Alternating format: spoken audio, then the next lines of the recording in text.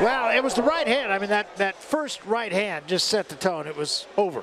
And to his credit, to Galarza's credit, he did set it up with a jab.